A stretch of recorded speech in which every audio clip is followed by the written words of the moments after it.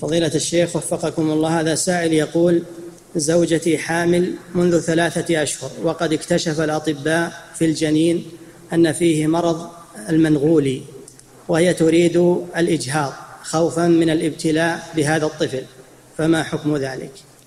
لا بد أن تأتي بتقرير من لجنة طبية معتمدة وترفعه إلى دار الإفتاء وينظرون فيه. ينظرون في التقرير نعم ويخبرونها بالحكم الشرعي إن شاء الله. نعم.